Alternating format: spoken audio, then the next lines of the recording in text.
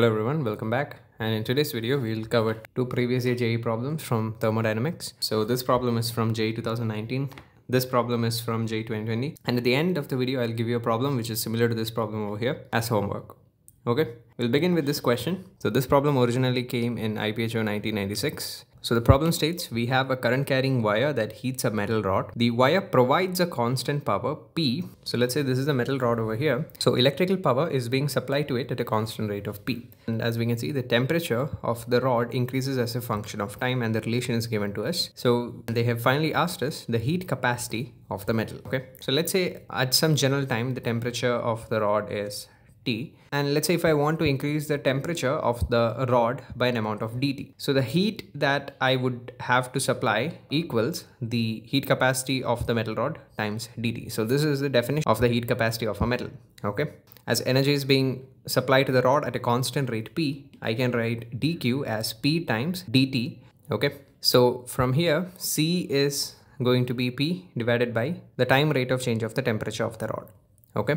Okay, so uh, we can easily figure out the time rate of change of the temperature uh, by just differentiating it. There's a factor of time coming in our expression of dt over dt, which we can eliminate using our original equation. And we get this as the final answer to our problem. So, and that corresponds to option A. Okay, so uh, this is the problem from JEE 2020. So, and this question was given as bonus. And the reason it was given bonus is because the degree of freedom of the gas was not given to us which we need if we want to solve this problem. So the answer will vary depending upon the gas is monatomic, diatomic and so okay? So we'll just take the degree of freedom of the gas as f and solve this problem okay? So the question states that we have a thermally isolated cylindrical closed vessel whose height is 8 meter and it is kept vertically. So what thermally isolated cylinder means means is that there is no heat transfer or mass transfer to and from the cylinder to its surroundings okay? So so basically there is no heat coming into the cylinder and also there is no heat going out of the cylinder. And as it is closed, we know that the mass of the contents present within it cannot escape. Okay. So now the next line said that it is divided into two equal parts so 4 meter 4 meter. By a diathermic or a perfect thermal conductor frictionless partition of mass 8.3 kg. So this is the partition that they're talking about. And it is given to be a perfect thermal conductor. Okay we'll discuss what that means in a bit. And it has a mass of 8.3 kg and moves without friction. Thus the partition is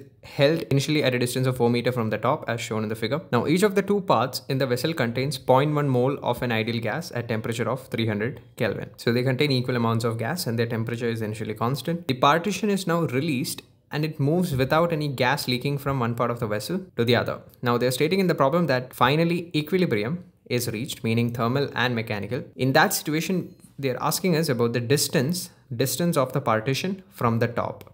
Okay, so now let's begin with the analysis. So initially guys, if we observe the number of moles on both the chambers, the temperature of both the chambers and the volume of both the chambers are equal, right? So if, so as two states, that is temperature and volume is, is same, then pressure will also be same. So initially the gas pressure above and gas pressure below is the same. In the FBD of the piston, there will be mg acting downwards the gas pressure from below and the gas pressure from above, right, into A. So this is the FBD of the piston initially. The net force applied by the gas is zero. So there is a downward force of mg acting on the piston, uh, which accelerates our piston in the downward direction. And as a result, the gas below it compresses and the gas above it expands. So the pressure above will decrease and the pressure below will increase. And at some point, the net force will be will become equal. This is uh, at this particular point the piston wouldn't stop right? Because it will have some velocity v as, as it was accelerating for this whole time. So it will go even further down and then it will come back up. So as we as you can kind of get a feel this piston would actually perform oscillatory motion initially.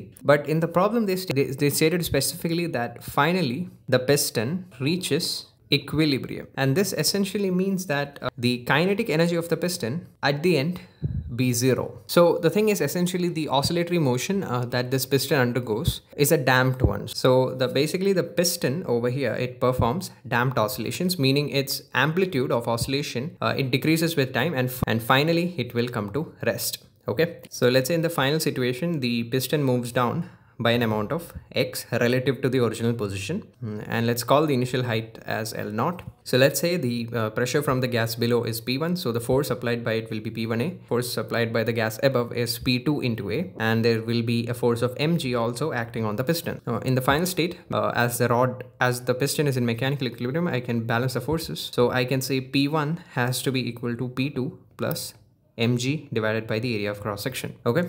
Now guys this piston over here it is also given to be a perfect conductor which means the temperature of the gas above is the same as the temperature of the gas below. And why is that? Because let's say the temperature of the gas above was t1 and the temperature of the gas below was t2 uh, in that case what will happen is heat, there will be heat transfer from the section above to the section below depending upon who has higher temperature. So let's assume t1 is greater than t2 so there will be heat transfer from the upper section to the lower section till the temperature difference become equal.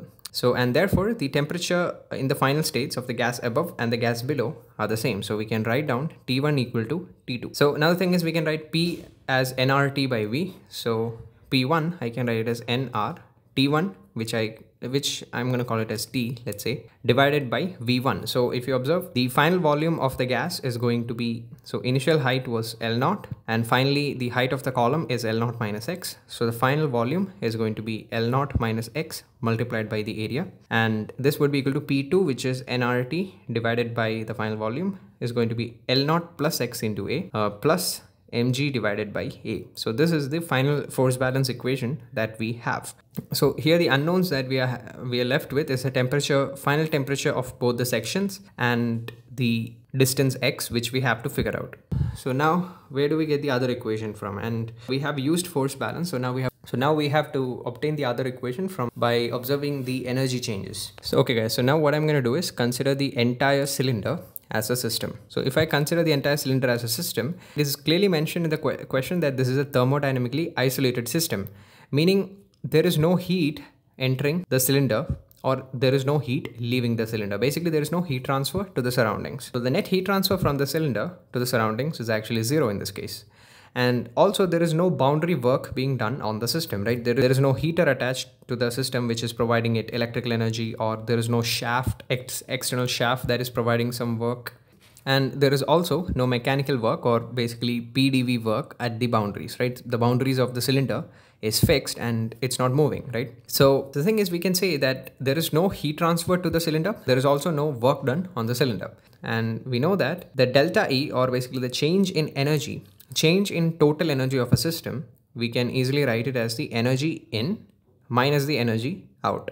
So if there is more energy coming into the system in the form of heat and work as compared to the energy leaving out, then the then the total energy of the system will increase, right? So in this case, there is no energy coming in and there is no energy going out. So the change in energy of the system should be zero. So, and the total energy we know it consists of the kinetic energy of the system, the potential energy of the system, and the internal energy of the system. So for the entire cylinder, I can write delta K plus delta P plus delta U. It should always be equal to, throughout the process, it should be equal to zero. So essentially, uh, so the simple idea is that there is no energy coming in or going out, which basically means the energy content present within the cylinder must be constant with respect to time. Okay, and so we know that the delta Ke of the system is simply zero because, and we are, and here we don't include the kinetic energy of the gas particles, guys, because that is involved over here.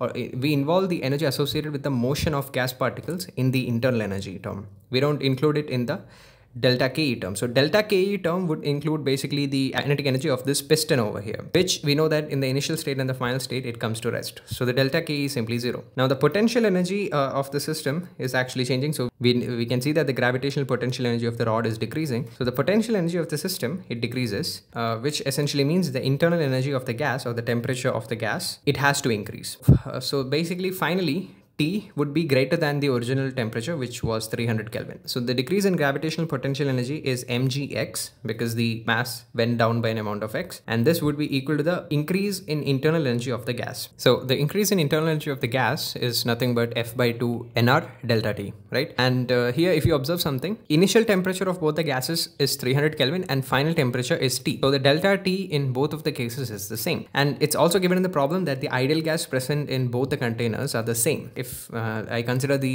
degree of freedom of one gas to be F, the degree of freedom of the other gas is also F. So I can write the internal energy collectively as F by 2. In the moles part, I'll include I'll include the total moles, which is 2n uh, times R times delta T, and delta T is nothing but T minus 300. So and here n is given to be 0.1 moles. So now as you can see, we have two equations relating x and t. So we can now solve for x which we want. You can also solve for t which, which is not asked in the problem, but you can definitely do so. So once you solve both of the equations, you'll obtain an quadratic in x.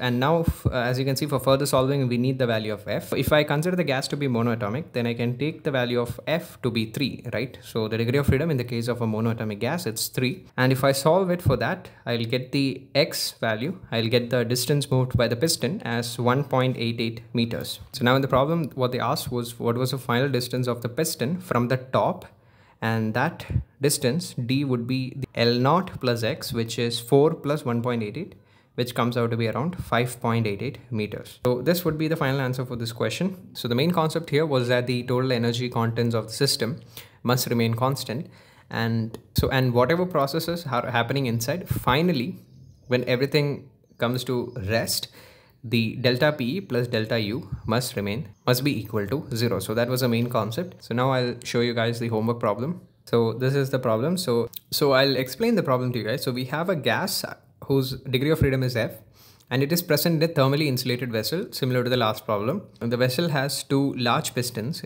each having a charge of plus Q and minus Q. So you can model this as infinite as an infinitely large conducting plane. Okay. So Assume charges are uniformly distributed. Pistons can move without friction inside the vessel. At an instant, the charge on the piston is increased k times with the help of the external agent.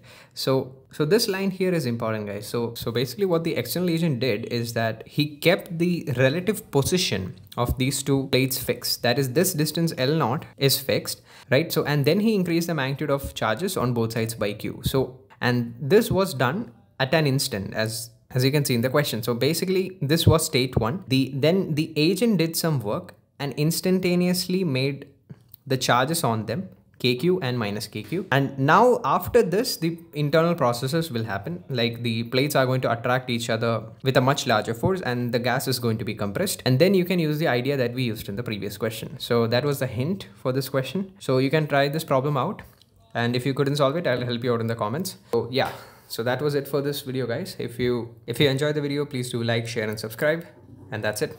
Thanks for watching